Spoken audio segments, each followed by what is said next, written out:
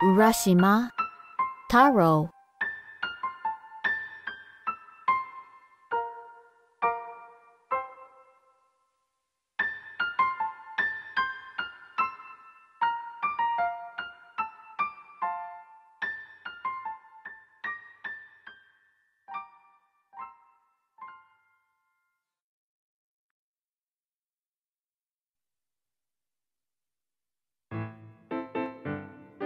A mm-hmm. long, long time ago, there was a young fisherman called Taro who lived in a small village along the sea.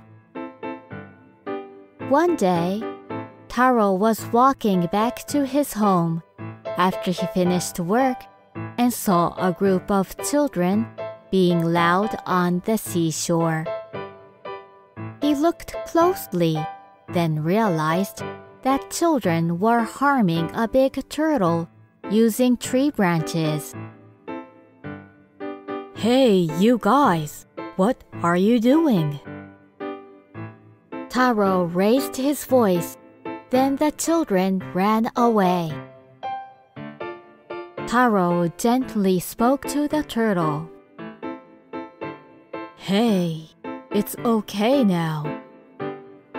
Oh, thank you so much for helping me. I would like to take you to the palace of the dragon. It is a wonderful place. It is in the ocean. So please get onto my back. The turtle carried Taro on its back and dived into the ocean.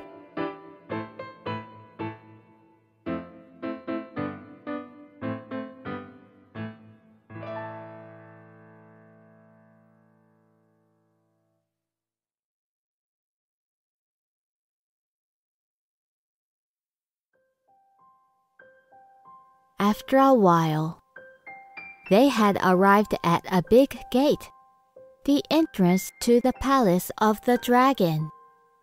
The gates opened, and beautiful girls dressed in gorgeous kimonos came out to greet him. Nice to meet you, Taro. I am the princess at this palace of the dragon. Thank you for helping my friend Turtle. So please, come inside. The princes lead their way through the palace and directed Taro.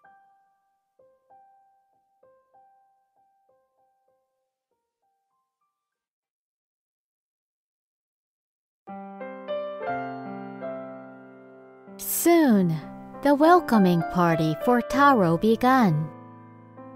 Beautiful dishes filled the table, and fish danced around on the stage. Taro felt as if he was in the heaven. It was so comfortable that Taro had stayed there for so long that he forgot about time. It had been three years since he had arrived in the palace. One day, Taro suddenly remembered about his mother, who was left at home.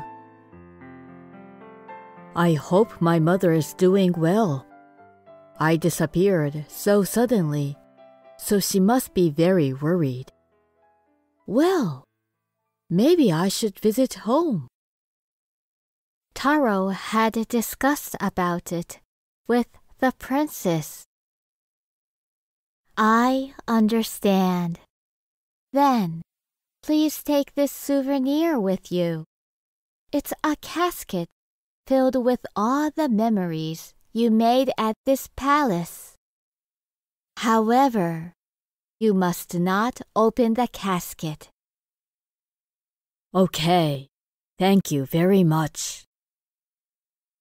Taro received the casket, then hopped onto the turtle's back and returned home.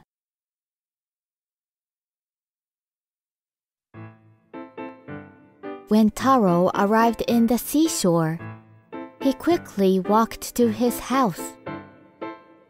However, the place where his house was standing had changed to a dilapidated grassy field. Not only his house, but the surrounding had changed. Buildings, people, everything seemed different. Taro spoke to an old woman who walked past. Hi, do you know anyone called Urashima around here? I am the son Taro. Urashima? Oh, I heard a long time ago there was a family called Urashima around here. Apparently, their son never came back from the sea. Which is what I had heard from my grandmother's great grandmother.